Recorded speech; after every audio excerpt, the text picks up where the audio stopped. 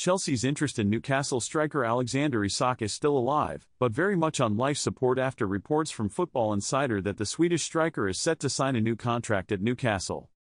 The Blues had looked to take advantage of the 24 year old's low wage existing deal, plus his club's profit and sustainability rules issues to try and prize him away from the Magpies. Pete O'Rourke claims we made a cash plus players offer at the end of June, but that Isak has decided to stay put and sign a new deal. After managing 25 goals even in an injury affected season, it's obvious why top clubs have been circling as Newcastle struggled to get within the rules financially.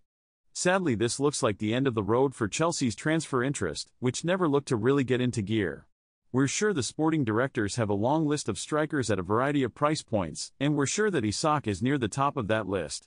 If things had all fallen into place, it's not impossible they would have stretched to sign him, even at the £100 million valuation which was floating around.